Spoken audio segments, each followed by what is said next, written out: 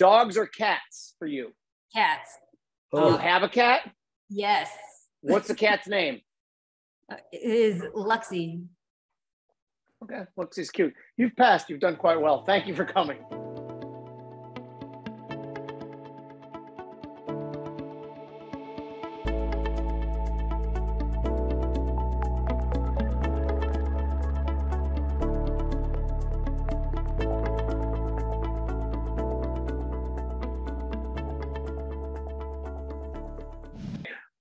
Welcome back to the Futures Edge podcast. I'm Jim Iuorio. As always, we have Bob Iaccino, who's the brains behind the operation and co-host and executive producer. And today's a special show. We have Tracy Shuchart, Chief Energy and Materials Strategist for Highland. Sorry, High Tech. Let's do that whole thing over again. We have Tracy Shuchart. Chief, by the way, they won't edit even that. They won't out, edit because that. We It's gonna stay don't exactly care, like that. Right? Okay. Hi, Tower. I'm on my own now. I, I know. Yeah, I, I know. It's right in front of me, and I knew it anyway. We have Tracy Shuchart, Chief Energy and Materials Strategist for Hightower Resource Advisors. Thank you for coming, Tracy. Thank you guys. It's been a Clearly long, from those long time windows waiting. behind you, you're sitting in a high tower, which is nice. I have a fake background. That's I what thought you had a fake background. Okay, good. Because it moved on. So I was like, wow, that's so cool. But then it moved like you moved it, it didn't follow. So I thought it was fake. But anyway, it's good. So anyway, at the beginning of the show, we play the lightning round just to establish credibility, break the ice. You will be asked five random questions that I don't even know what they're going to be. You have five seconds to answer, and you will be judged harshly on any bad answers. There's no, yeah, okay. So let's go. First of all, favorite movie. Favorite movie? Um, You've never thought about this before, ever. Wow. Poltergeist. Poltergeist, interesting. Okay, no one said that before. Favorite actor or actress? Um, I don't. These are hard. I don't really watch It's that. not. You thought it was going to be okay. Fine, we'll switch that question. You get that's your okay. You've lived in several places as I've followed you on Twitter. I'm not going to ask you what's your favorite place. What I'm going to say, ask is what month in what place is the best combination of any place you've ever lived? Um, I would say Chicago for sure. In What month? 2008 and um August. August. Okay, August a little hot for me. I thought you were going to go with September. Bobby, didn't you think September is what it was? Yeah, I definitely thought it was gonna be September, but I knew it was gonna be old Chicago, not current Chicago. Current Chicago is a little different. I still A lot like it, but now it's an acquired taste, and you might have to Mhm. dodge a bullet here and there. Dogs or cats for you? Cats. Do you Oh, have a cat? Yes. What's the cat's name? Uh, it is Luxie. Okay, looks is cute. You've passed. You've done quite well. Thank you for coming. Do you have any questions for us before we start?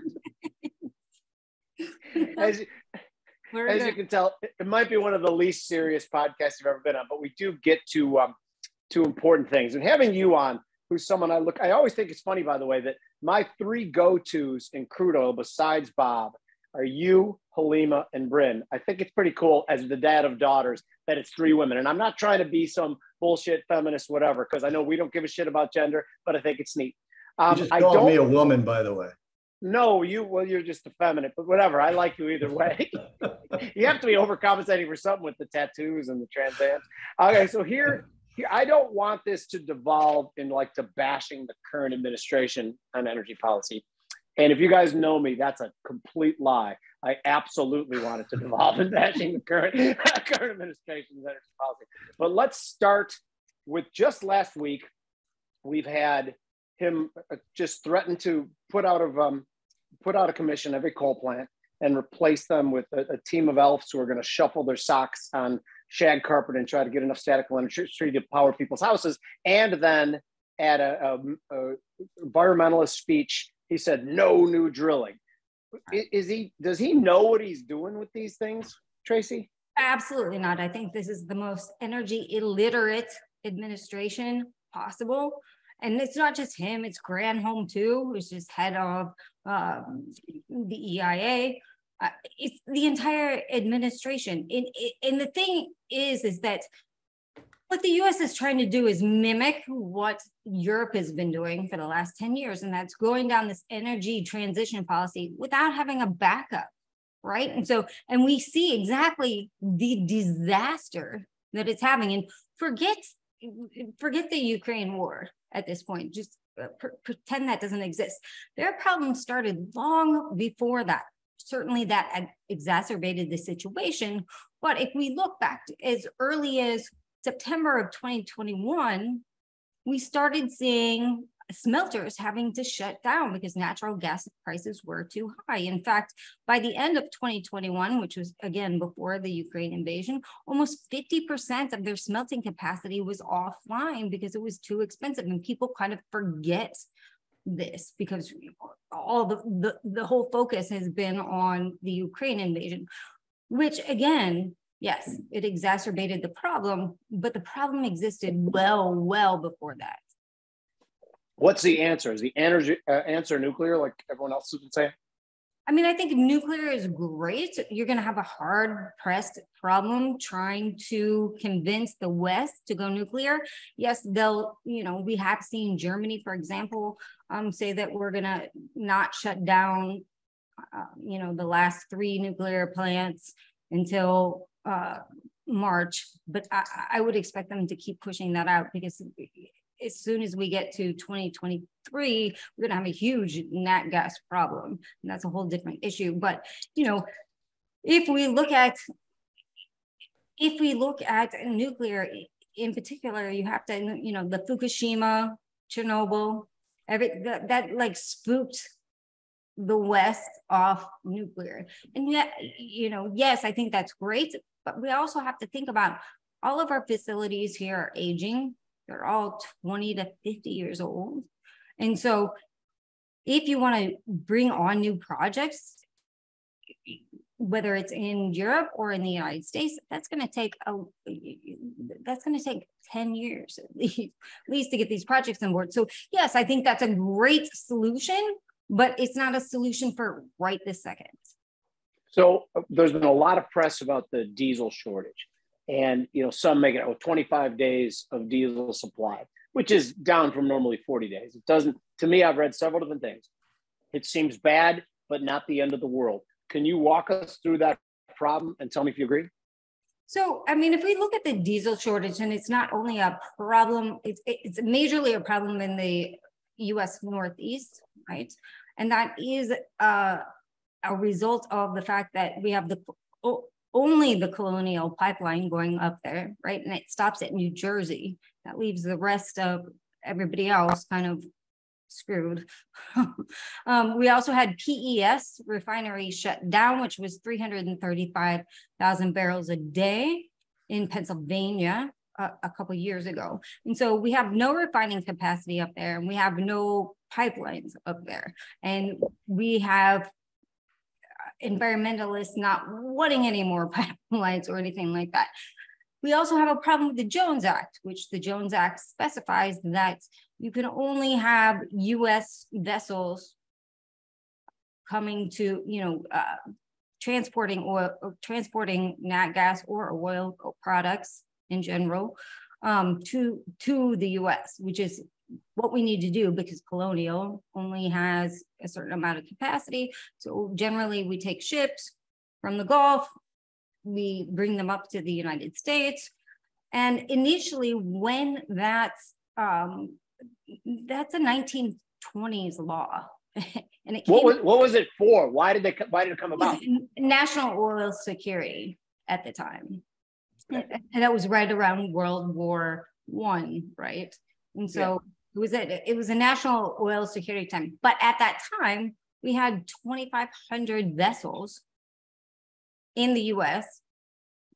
that were flagged in the U.S. that could bring or you know products, whatever, up to the East Coast. We have 100 vessels now.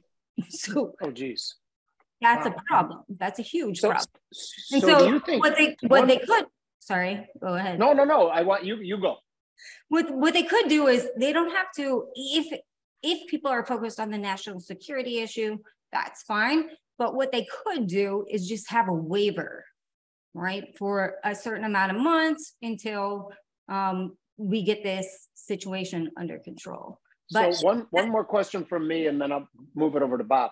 When you right. think like you say a waiver and again jones act is point to point us point to us point. It, it has to be us flagship. Is that correct correct Okay, So, and you said they could have a waiver. It seems like it's so simple. It seems like everybody would would vote for that. It almost, to me, we always argue in the show about incompetence versus nefarious. It almost, or just not giving a shit. Which one is it? Well, I mean, I think it's I think it's a combination of both because it's a very simple solution. Yeah, it's not a long-term solution, but it is an immediate solution. And so um, immediate's not so bad. The problem is this administration is still not talking about this. And it's not like they haven't done this in the past. They did this for Puerto Rico after the hurricane. They did this, you know, it's not like they haven't issued waivers in the past before they have. And so the fact that this administration is still not talking about this or still not bringing this up, that's a problem. Bobby? Tracy, the Strategic Petroleum Reserve so, My favorite subject. I forgot I could almost that. just stop right there. I literally Let's don't even have to. the Strategic Petroleum Reserve. Jimmy always Jimmy always complains that my questions are more like lectures that end with a fake question. I'll so take two naps during his question. I'm just going to ask your your opinion of these sales based on the fact that the the SPR was created for uh, emergencies when there are critical undersupply of crude oil, whether deliberate or because of natural disaster. And some people argue that that basically is a, uh, it's always been it's in the, the uh, actual documentation of the of the SPR Act that it is basically to keep prices lower, and that's what this administration is doing by releasing oil from the SPR. I don't agree with that, but what's your take on it? Well, I think I've been pretty vocal about this. Yeah, you have. Be again. but again, it's for uh, it's for emergency purposes, and you know we're you know we've drained it from over 750 million barrels to I think the last count was 392 million barrels.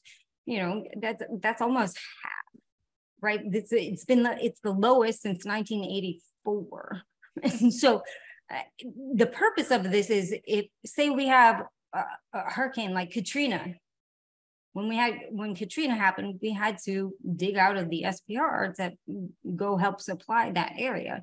And so with everything geopolitically that is going on right now and with all the conflicts that are going on right now with the tenuous relationship with say um, saudi arabia right now i mean we need to be careful with our strategic oil reserves. And it's not only that, it's just that the US produces mostly light sweet crude oil, right? And that's really, you can only produce gasoline from that barrel. That's what comes out of it.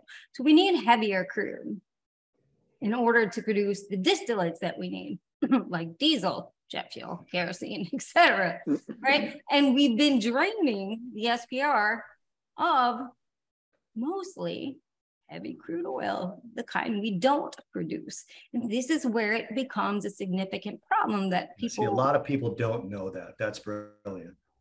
Right. And so this is where it becomes a significant problem because, you know, we mostly get our heavier crude oil from Canada, um, which we, we all know the problems there. Keystone was canceled, et cetera, et cetera. We get some from Mexico, um, but their production is not looking that great. Um, we used to get some from uh, Russia, but it was like it was like thick sludgy thick sludgy oil, but at least it was something that we could mix. Now, you know, we have a Russian oil embargo, that's fine. So that's 600,000 barrels per day that that's off the market right now. And so we have a serious problem with heavier crude oil and trying to get that. And, and that's what we're draining from the SPR. And so this this is a problem that people okay. don't realize. So so tell me this. Do you like when you we're talking now, let's break it into the price of crude, crude market. So it sounds to me like you're saying hundred dollar crude, right? What time frame? What what are you thinking? I think eventually, I, I, think we could see that again. Of course, we did see that earlier in the year with a, war premium, you know, in February when there was an invasion. We did see that that did come off some. Um, but I think as soon as, you know, and we are already starting to see these SPR releases dwindle, right? you know, we went from like 8 million barrels a week to 3.6 million, and that's going to taper off unless they issue a whole another slew of uh, of releases. And so I think that, and then we also have to look at the fact that December 5th, we have the EU oil and product embargo. And that's actually going to exacerbate the diesel problem even more because uh, EU actually. Can you explain what the EU embargo is on December 5th? Like, I don't um, know. Oh, so on December 5th, there's an EU embargo, not on natural gas, because they still do get some natural gas, um, but it is on oil and oil products. And from so, Russia. From Russia. And so what that entails is that mostly the products that they buy is, is diesel from, from, from Russia. And so that's going to put a crunch on the diesel problem even more because diesel problem mostly exists in the West. You know, it's mostly Europe and the United States right now. And so we have to look um, eh, to see how this embargo really starts eh, eh, affecting um, the, the global market.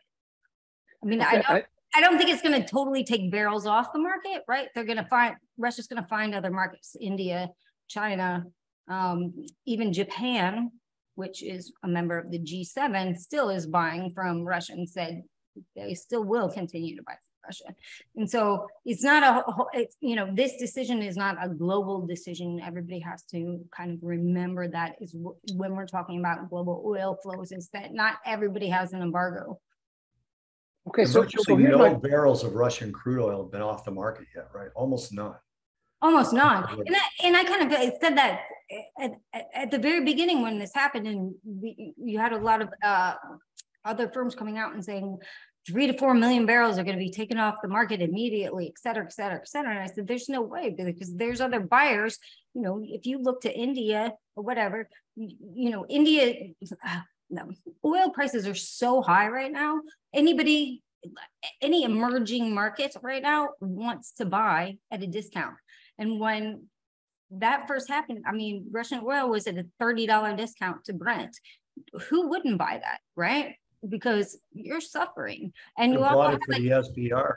And you also have a dollar, the dollar, you know, exploding. That means your currency is worth, and you're having to buy oil in dollars. And so it was especially tough on uh, emerging markets when all that happened. So, of course, they're going to buy oil because India even said as late as COP27, you know, we're still going to buy from Russia because we're more concerned about our energy security than what the United States is. It's another one of those things where it just sounds good. We'll embargo, we'll embargo Russian oil. Yeah, but a lot of people are going to suffer. It's absolutely asinine. Let's change this real quick to the CPI number that came out yesterday because I've been talking, and Bobby will verify this. I thought the inflation numbers were going to roll over. You know, global shipping rates coming down, lots of key commodities coming down, except for one, but crude and diesel and gasoline. So when you look at the commodity picture in general, there's everything. There's lumber, there's copper, there's oak, but then there's crude. Crude and crude basically makes up about probably 20 to 30% of the whole commodity picture when you're talking about the cost of everything. It dwarfs the importance of any other commodity. That's correct, right? Well, absolutely. You can't do anything without oil, right? right. You can't manufacture anything. You can't uh, dig for metals. You can't. You can't do anything without crude. It, it makes the world. You know, without energy, you can't do anything with any any other commodity. You can't. You can't farm. You can't you know. Right. So, of course.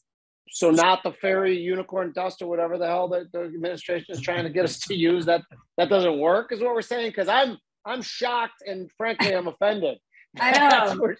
right. Weird. I know it's weird. But, but we need a lot of fossil fuels if you want to get your EVs and your EV batteries and your EV metals and et cetera. You, know. Yeah, of course. So let's talk about that then. Let's branch into uh, about a month ago. I gave a speech at the New Orleans Investment Conference, and the whole punch of it was, and Bobby, you know, I'm going to keep patting myself on the back for this shit too. And I was, actually going, wasn't going to say Christ. it this week. yeah, I, will nice. take the words right out of your mouth. Tracy's so nice. I wasn't going to actually say. You got to bring that shit up again. okay, but I, but I'm right and getting righter. the copper market was stretched. They talk about their decarbonization of the future. There's no decarbonization that happens without copper, and we're already at copper deficits. We already have the environmentalists so badly wanting everything EV, but so badly wanting no more extraction anywhere, including around the world. You study copper markets as well, I assume. Give me your take. Walk us through what you think of copper for the next six months, year, five years. Well, that's the problem. I mean, I, longer term, obviously, it, it's a buy. First of all, we're already in a market deficit. It's ridiculous. Even China, China, who who you just lies, do a Trump China lies about it. lies about everything. I love how she said it disgustingly. Like it's like China. well, because you know, I mean, first of all, there's two factors of this. First of all, China's inventories are way down, right? And they've actually admitted that, which is odd because earlier this year, they just got caught lying about their inventories. And a bunch of firms got shut down because they were over exaggerating, you know, um, their inventories, and people obviously were hedged on that. Um, et cetera, et cetera. And it was a whole big thing. So now they're back to admitting their inventories are at the lowest they've been in the last 10 years. um, and they're looking to, you know, they want to invest more in, in uh, those metals, likely going to Africa, I'm sure, because yeah, that's what they do. um, and we have LME inventories down. We have COMEX inventories down. I mean, we have we just don't have enough. And in fact, even if we, every mine produced that we have now at the max capacity, we still wouldn't have enough. We need 20 more mines the size of that just to get us to 2035 which we don't have because there's the the, the, the mining industry suffers the same problem that the oil industry does is the last seven years there's been no capex Exactly. And a lot of mining equipment, Jimmy, runs on solar and wind. Just so you know, I mean, all, oh, all the time. That's what they do. Right? Yes. So you course. can easily They're... build electric cars by powering it with copper drilled from solar. I'm sorry, I'm I'm beating a dead horse here. No, but Bob, I want to ask a question. But I did want to tell because people who, who view this podcast and people who see me on Twitter know that the copper thing's the drum I've been beating yeah, for a month. I have I've been talking about that for a long, long time and over the last couple weeks, I have been systematically increasing my position in copper. I again, I don't even think of this as a trade necessarily, and I haven't done it in futures yet. I, I think of this as more like this is something I want to have, you know, five percent of my dough in for the next five to ten years, maybe even more of that. But Bobby, what you got a question? I do. I wonder if Tracy could explain something to people, which I don't think is. Uh, hang on. Cheers. Which I don't think is uh, clear to a lot of people is why the winter matters so much for diesel. Because uh, the whole distillates thing distillates right now are 17% according to the last EIA report 17% below the five-year average. And i think people understand that di- distillates are made heating oil and diesel are made at the same time for the most part. Um, so if there's a bigger demand for heating oil there's a bigger demand for diesel. Plus i worked at tracy i worked at a boutique oil firm in chicago for about four years doing uh, geopolitical strategy and hedging strategies for them in the energy markets. And one of the things I learned there, which I always love to bring up because it's something that Jimmy doesn't know, and I think that's amazing. That makes me really happy when I'm smarter than Jim. is the speed crude oil goes through a pipeline, even though we don't have pipe, you can't increase the speed even if we had more pipe. So right. I remember we had a we had a, a barge of crude oil up near Canada, and we were trying to get rail cars, and there were no rail cars available. And I said to the CEO at the time, because I didn't know, I said, can we just like commission a rail car? He goes, it's like 18 months and millions of dollars to build them. You just can't because of the EPA regulations. Right. So I think people don't, you know, you mentioned that crude oils and everything. I don't think people realize how important diesel specifically is and the mix with heating oil. Oh, absolutely. It runs the economy. How do you get how do you get freight to move? Right? How do you get um, your shit from Amazon every day. What, well, you just swore on our podcast. How dare Oh my God. Sorry. I said I might do that. It was an accident. Yeah, we will not fucking bleep that out, just so you know. God damn it, Tracy. But anyway. But I mean, really, diesel is the heartbeat of the economy. How do you get anything? It's basically moved by trucking or freight or container ships, whatever that basically use, uh, obviously vessels use, um, you know, marine oil, and whatever, but it's, it's, it's a derivative of, it's a, it's a distillate. It's a distillate. distillate, right? Right. I mean, you're So looking that's how- on the whole. You get everything, right? How are you gonna get your Mm-hmm. stuff from China moved to the US? On a vessel that's using, you know, marine fuel oil, right? Or how are you going to get that off the dock and to you, off the dock in LA and to you in New York? A, a truck. I have an, I have an environmentalist, I have an environmentalist friend and I don't use environmentalist as a dirty word. Jimmy's one, his daughter's one, but I don't use that as a dirty word. But I have an environmentalist friend who I told him, I said, you realize crude oil specifically from areas of north and northwest and, and other places are being moved in trucks because the Keystone was killed. They're being moved in trucks that burn diesel down to refineries. So it's like they're they're burning the fuel, they're driving the derivative or the the origin of that fuel down to make because we don't have a pipeline. I know. Uh, it just, Which is I've- I- actually more dangerous if you think about it. Rail and trucking is actually a more dangerous way to move that kind of fuel, right? How many train accidents do you see? How many Uh, pipelines A lot. head-on collisions? Anyway, It's, it's amazing. And, and Tracy, to his point, my daughter's studying, she's getting her uh, master's in environmental uh, engineering at Stanford right now. She worked in the business. She was an Illinois engineer. And um, I, I argue with her all the time because I believe that if you look at the environment, the most damage ever done to the environment was clearly industrialists, number one. Following second to me is environmentalists who've done some bullshit things in the name of good over the years. And this is one of the things, like you just said, like, okay, they stopped the pipeline and they never for one second think about what the ramifications of those things are, unintended consequences. We all do that. But let's talk about the CPI number from yesterday. And this is going to be a question for both you guys. I thought it was a big deal. I thought we were going to see inflation rolling over. The only wild card I thought was energy, and I think it still exists. And I think the stock market, I think the whole bear thing is over. Technically, that makes sense to me too, with a new weekly high, and I assume we're settling there. Uh, we're taping this, by the way. That this is actually 3:05 on Friday when I'm saying this right now. Do you think the episode of inflation is over? Um, do you think the supply chain is healing slowly and gently? Tracy, you first. Ooh, man.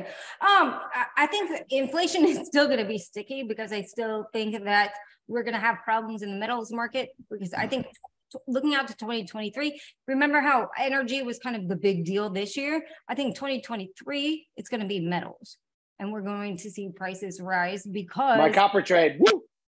because because you know the west is sticking with these plans yeah, you know these uh environmental plans. We're not getting away from evs or whatever.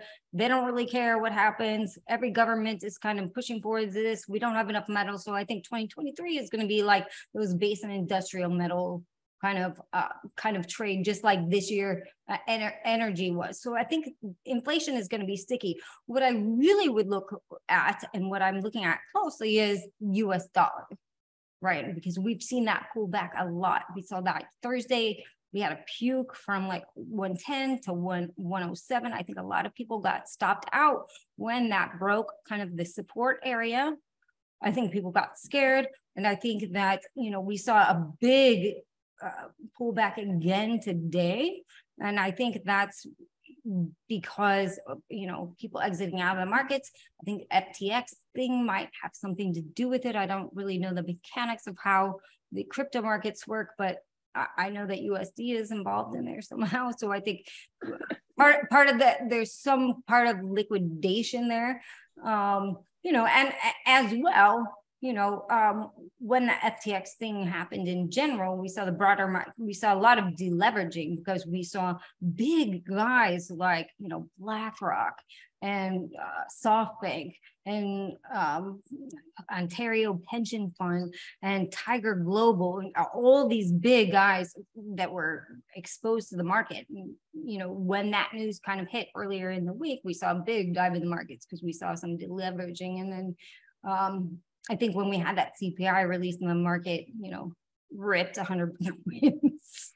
I- I think some people got caught off sides a little bit. you think? I before I passed Bobby because I want I want you to answer too, but I want to underscore two things that Tracy just said. She casually mentioned the fact that governments around the world don't care that they're driving up energy prices. They genuinely don't give a shit. And then she mentioned the Sam Bankman Fried thing and, and BlackRock and whatever. I don't give a shit when a fool and their money part. I mean, I think there's a beauty to it. The only thing I like about rates being what I think are potentially too high is that you pull back the wallpaper and see where the holes in the wall are. You see who the morons on. And if Tom, if Tom Brady lost $655 million like is being portrayed, I, I've enjoyed watching him play football, but I, I don't give a crap. A fool and his money are soon to part. If I said anything bad, Bob, or no? No. And, and honestly, like one of the things about Jimmy Tracy, I don't know if you know this, but he's very consistent. I mean, he's always he is. He is. He's very he enjoys others' pain. He's uh, he's been. I do not. That's that. not true. He's I just been think clear it's- about that. Um, no, look from a perspective of of inflation. Um, you know, one one of the members we do these daily webinars for our members uh, at Path Trading Partners that we have, and one of our members, literally for the last eight months, has been saying uh, pause is guaranteed, a pivot is guaranteed with the Fed. Right? He's just a, he's a permabull. And you know, I said to him the other day, I, I said it's like saying snow is guaranteed in Chicago. It's like 70 something in Chicago right now. And I'm like, I guess like snow is guaranteed tomorrow. Snow is guaranteed tomorrow. Keep saying it. The Fed wasn't going to raise rates, not only at 75 basis points, but at all into infinity. They were obviously at some point going to pause. What I think people don't understand, Jimmy, about inflation is it's always going up. It's an index when you look at CPI, pull up a, a, maximum CPI at the Fred website, St. Louis Fed website. It's this. It is straight up the whole time. There's a dip for each recession, and then it's straight up. And there's a difference between disinflation and deflation. Disinflation is what we saw in the last set of numbers, right? A reduction of the increase in prices at rate. What we don't actually want to see is deflation because that then gets, it's just like know, I'm doing one of those things, Tracy. Jim says I always do. But you know, if we have deflation, it's similar to like when we all saw big screen TVs at twelve thousand dollars each. Ah, they'll come down. Then they came down to eight thousand. We're like, they might come down a little more, and you don't spend. That's deflation. So people actually pull back during deflation and they don't spend. It's a horrible economic condition. My issue is this: we had commodities, including crude oil, drop, right? in this past CPI number, you know what actually increased? Services. Inflation. Services. Services went from 3.8 last month to 3.9 this month. What is one of the stickiest part of inflation? Services. Services. So what happens if crude oil starts creeping up, which it's been doing? What happens if your copper trade is right earlier than you think and it starts going up? It now joins with services inflation and we see that in those inflation numbers come right back up. My issue is, does the Fed see year over year inflation at four and a half percent as a victory? Do we see it as a victory? Before before I pass that to Tracy, I will add that the rents are going to plummet. I will add that supposedly 49% of restaurants are late on rent payments right now, 35% of small businesses in general. I do think there's two sides of this equation. Tracy, take us home with that. Oh, no, no, I absolutely agree with you. And that's what I meant about kind of sticky inflation, where we're going to see uh, stagflation, even though everybody hates the word stagflation, but we're going to see inflation higher in certain areas. It's just a fact.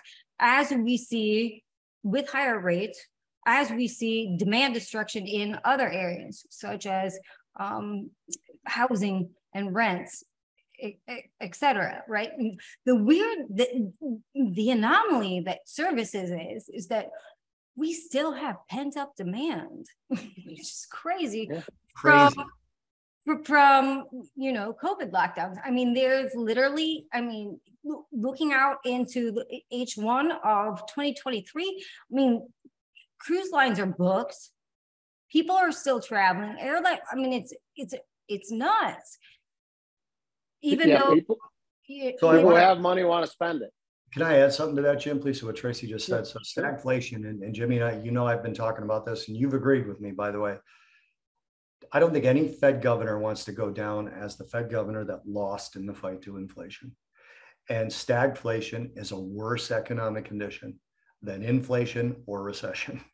if we get to a point of stagflation, which your your comment, Jimmy, struck me about the small businesses being late on their rent, do rents plummet? They catch up, or do rents plummet because they close? I, I think it's probably a little bit of both, but I think that number is going to go down in part because businesses will close, and now we're in stagflation. And how do you get out of that? So, I think we've had 10 years of zero interest rates, right? Why do people think we can't have five, six years, 6%, 5%? Because I don't think so. Because I believe, you know, Tracy, I have a restaurant too, by the way, Brant's Palatine. And so I'm plugged into the restaurant business too. I, I fully believe that our economy completely collapses if rents are too high for too long. And things have changed over the last 20, 25, 30 years is that overregulation, almost punitive taxation had to be accompanied by inorganically low rates or else the house of cards falls in. There's nobody who's lined up to decrease regulation and uh, you know open up lines of, of trade like Reagan was. I think that rates have to come back down. Tracy, thoughts? Well, I, I think that I think eventually rates will have to come back down. What I think is more important is that I think the Fed is going to have to move their 2% um, goal really to start to accept 4%. That might be the sort of, I think that's the middle ground that Jim and I don't have right now because they can't get to 2%, not unless they no, leave I, I, might not be disagreeing with you. That's a work in progress in my head. That might be yeah, I, the thing that always strikes me about the inflation argument too is that the psychology of it, like people like inflation is not going away. And what they really mean is those high prices aren't going away. Yep. And like you said before, you know, those prices aren't going to come back down, nor should we necessarily want them to come back down. Maybe some of the froth being knocked out a little bit too. Tracy, towards like this show, we break up. You're on for sure. The, the macro guest is on. We talk, and then we break into trades using uh, CME products. We want, I want you to stay on, particularly if you're going to call one of us an idiot um, when we give our trades out, because we like that kind of talk. Will you stay with us, or you can right. go too if you want? I'll stay on for the trade portion. Let's do it. Good. Good. Bobby, can I go for it with my trade? Yeah, please. I'm, I'm only going to recap a trade. So you go ahead. Can I get my chart oh. back up first? get your Drake um, in the picture. Get your yeah. Um, oh, by the way, my two trades from last week uh, was one was the long gold, one was the short 10 year yield contracts. Both of them are working beautifully. Um, these trades are going to be similar right now. My theme is not changing. We never talked about silver in this, and I think silver is an interesting trade right now. Um, I'm looking, and again, I'm I'm not going to be putting this on the futures, and everybody who follows me knows why I'm uncomfortably long silver in some other trades. But a, a trade back down to 2120 when I was mapping this out a couple hours ago, I think it rallied hard into the close, so this might not even ever happen. But a pullback to 2120, so spot to buy the micro uh, micro December silver contract CME with a target of 2280 on the upside and a stop placed below 2025. This is, uh, I'm placed at 2025. This is the stop level. Like at first, I thought 20 was the level. 21 to me seemed the level that when it took it out, um, a settle above it seemed very bullish technically to me. This trade, if you take it up to the target, make 1600 bucks on the micro for one contract. If you take it down and get stopped out, it's 950. Which, by the way, the micro silver contract is still kind of big. It's only one fifth of the main contract. It's thousand ounces. Um, thoughts on it, Tracy? Silver. Uh, on silver, okay. I actually, um, I actually got long um, SLV calls um, December 16th at 22 last month. Oh, good. I kind of like what, what's the duration? What's the, when do the calls expire? Uh, December. Oh, okay. Oh, the December calls. You said that. Okay, I forgot my month. December calls. Yes. Okay, right. I thought you got long in December. I was like, was that SLV 22 expire expiry is December.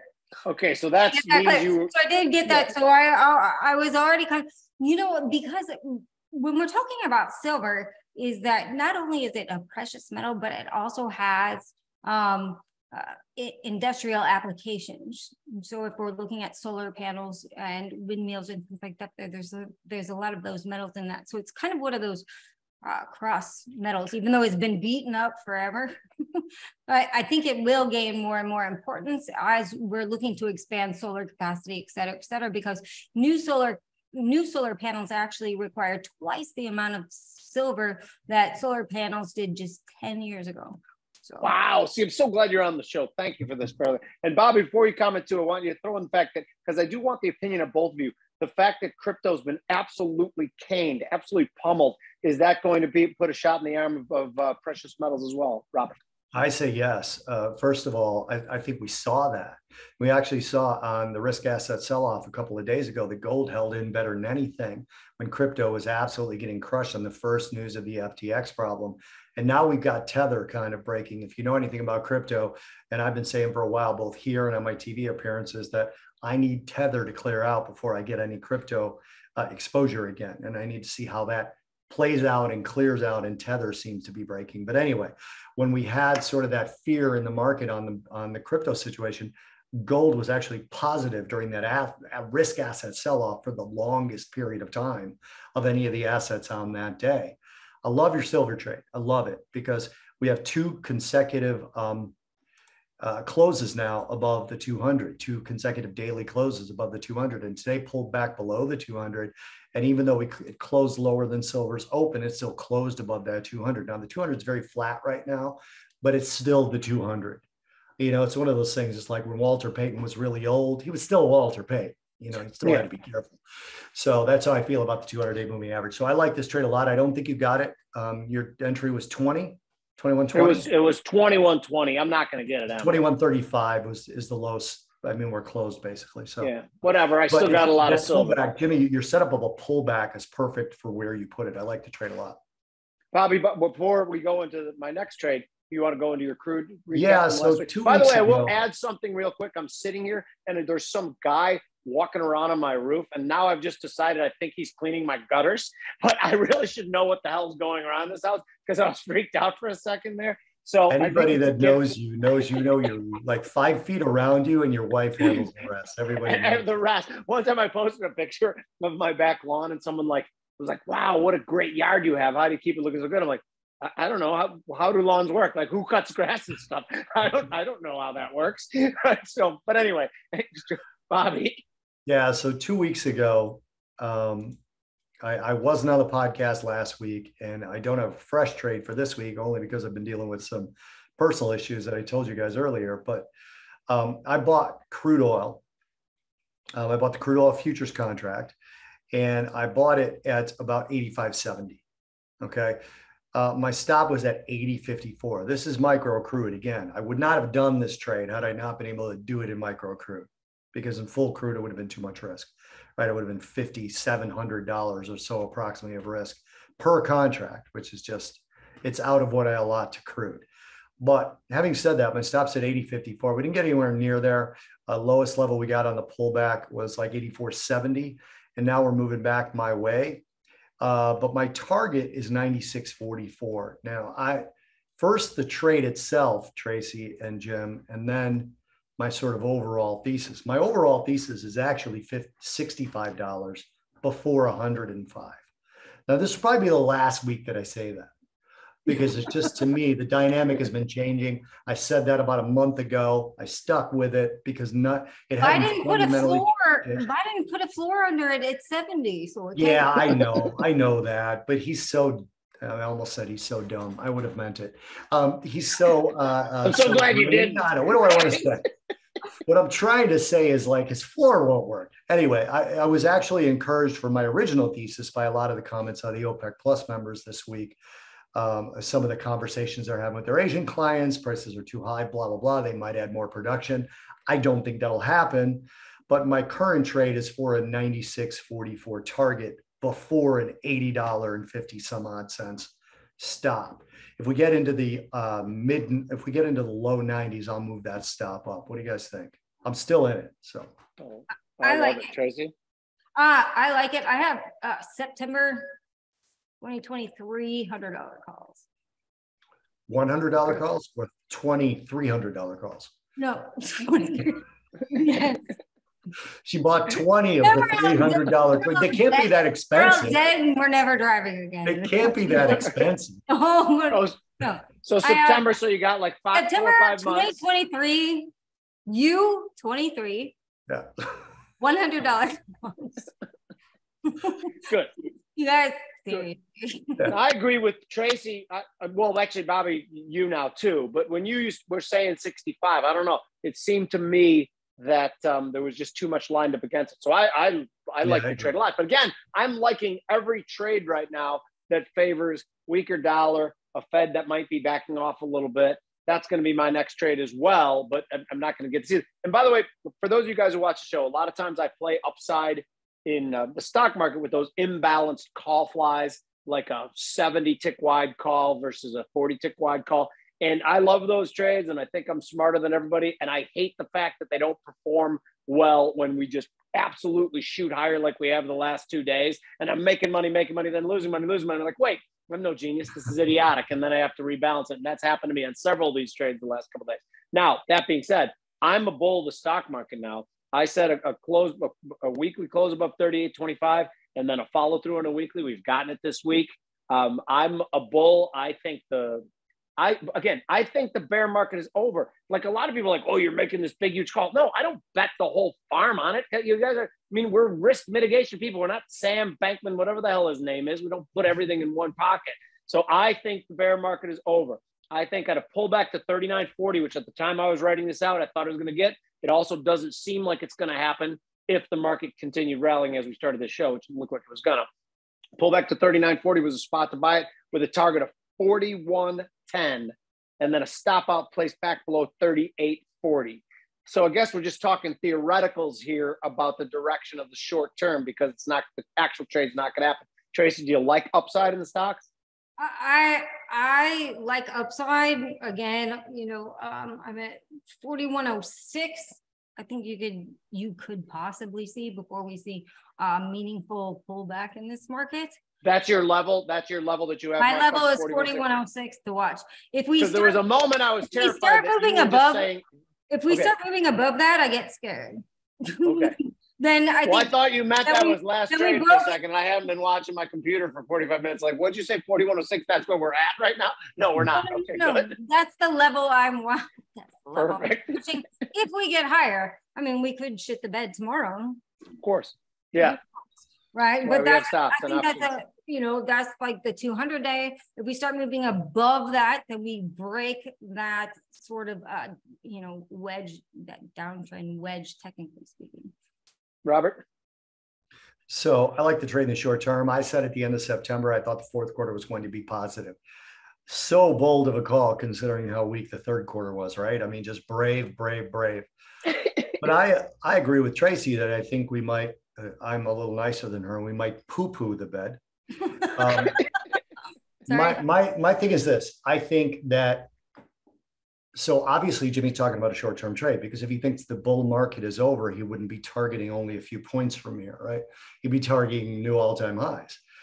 But I think that the fourth quarter is going to continue to have strength because A, I think people think they understand what the Fed is going to do and they've accepted it. And so that's theory, it's moment from a momentum perspective priced in. And we've gotten our first uh, reasonably weak inflation indicator even though all the Fed speakers are saying this is not a pause, they'll likely slow the rate of rate increases, right? I, I believe this is the long road to I like this trade, Jim. So I'll mm-hmm. just stop. I, I, think the first quarter of next year and the second quarter of next year are going to be really, really hard for the stock market because okay. now we're we're shifting from what's the Fed going to do to rates to how the hell are we getting out of this recession? That's mm-hmm. what we're going to be shifting to next year. Now, stock markets do rally during recessions, but they don't rally during stagflation. That's the kicker. So if we can't get inflation under control, not good for equities. Tracy, last word on the markets? Yeah, no, I also think that you have to look at the last quarter of the year. All these portfolio managers haven't made money all year, right? They're coming up like what uh, November is it 16th or the 21st? Forget the date where they figure out whether they have clients or not left. so I think I, I think that you know they're doing what, whatever they can to help push up the market. That's all I'm saying. Mm-hmm. Got it. Okay, so it's it. Friday. What city do you live in now, Tracy? I am in Fort Lauderdale. Are you really you lucky bastard? What What is a Friday night for trade? Like, is there a favorite bar you go to? Uh, what are you gonna do? Yeah, I'm gonna go. I'm gonna go to my beach bar and like kind of just chill. watch watch the ocean. I mean, the the hur- the mini hurricane is over, so you know it's nice sunny today. So Jimmy, is what that, will you? is- What, is that little beach with the duck boats in Arlington Heights near 355 open for you or not? That, that Lake Arlington? The little I know Lake. Arlington duck boat beach, is that open yeah, for you? By the way, we, Chicago we, we is can great too, though. Come on. Chic- yeah, well, I was gonna say we can bash Chicago all we want. There's some fabulous beaches. They're just not fabulous now. And by the way, it was 75 yesterday, but it's gonna be like 35 today. So Oak, uh, Street, think Oak Street Beach. You can go to the it's beach. great. Fantastic. Okay. What's uh last question? What are you gonna drink? You walk up to the bar tonight. What's your first drink? Uh, uh, wine. I'll have a. Uh, I like wine. yes, I'm Can't lose. Something, Can I cold, something cold the and white. butchery out of Moldova? Putin hasn't invaded here yet, so get this right. Was that from the convenience store in the hotel or no? Actually, it's we had this at the house. We buy all the half bottles of wine we can, so that when we drink seven of these, we'll be like, it was only a half bottle. We It's only really half bottle. Yeah, Yeah. man, we're good. Yeah. All right, I'm leaving. I'm going to take a nap and then I'm going to go to my bar because I just got a text that we're down employees tonight. So I'll That's be weird. hosting. That never yeah, happens we're down in employees. restaurants. Thank you guys. This was so much fun. Thank you, Tracy. Tracy, thanks thank for you so uh, much. thanks for putting up with us. Appreciate it very much. Have a great night, you guys. Thanks. Cheers.